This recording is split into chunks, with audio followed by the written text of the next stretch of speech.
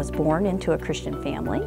My father is a Presbyterian minister. He has been inside Tab to do my wedding, also baptized some of my children. And so up until high school, it was kind of traditional, right? We went to church every Sunday. God and Christ were a big part of our lives, and it was relatively straightforward. And then I went to college, majoring in psychology and history, presented those challenges to faith. When you study religion historically, there are things that come up that are hard to wrestle with. And I don't think that I was prepared going in to have that experience because I wasn't going to a Christian college and I wasn't studying Christian things. And so after grad school, I had a period of disengagement. I just kind of checked out, wasn't attending church, wasn't really wrestling with any of these questions, and was just sort of doing young adult life uh, and enjoying that very much. But I wasn't satisfied with that, and when it came to getting married, I, I, realized that there was more conflict there. I wanted to be married in a church. I wanted my father to do the wedding. I wanted it to be a Christian wedding. But I hadn't been going to church and I didn't want to join a church just to get married there. That didn't feel right. So we came to TAB. They were very open to letting my dad come in.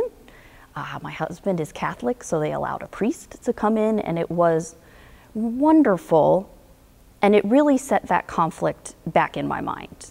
Like, you don't want to not be a churchgoer, but you've lost a lot of belief in some of the things that you took for granted before. I started what I would consider my period of struggling to re engage. And there were times I would come and sit in church just racked with anxiety. I don't belong here. I don't believe what these people believe.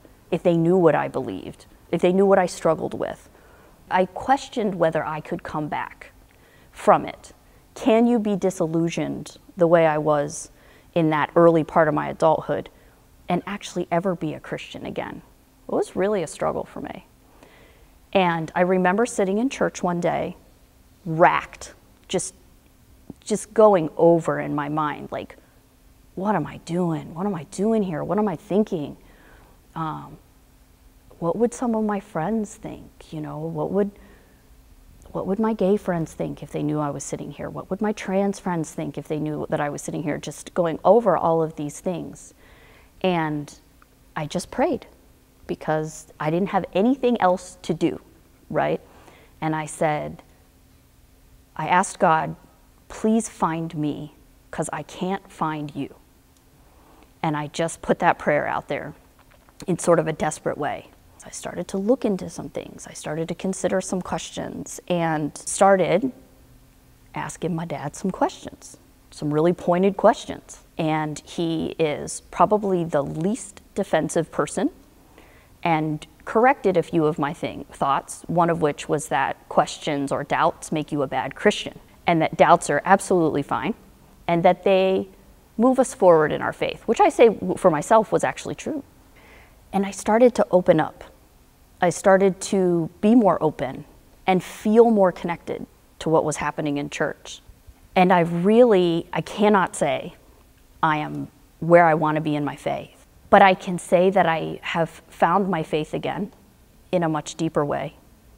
I'm able to read the creeds and the statements of belief without conflict but what Christ being alive means that that prayer was heard. There's no way to get from where I was to where I am without help. And of course, Tab played a huge role in that. But I think there was also an answer to that prayer.